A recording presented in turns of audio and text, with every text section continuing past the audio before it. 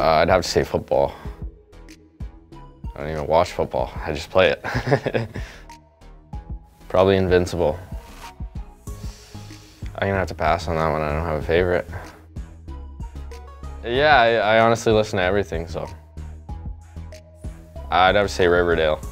Uh, I don't even have one, I don't think. I, I'm not scared to admit it.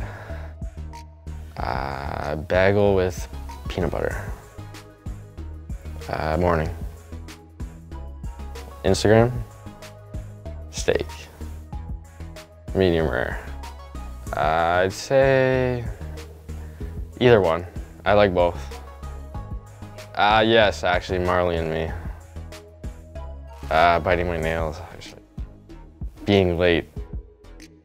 No, just me being late in general. Yeah, I bother myself. Funny, no scaries. Adam Sandler. Uh, uh, yeah, it's honestly tough. It's honestly tough. Uh, Mr. Deeds is up there, I'd say. Yes. Money, I would say. Dance. Ronald.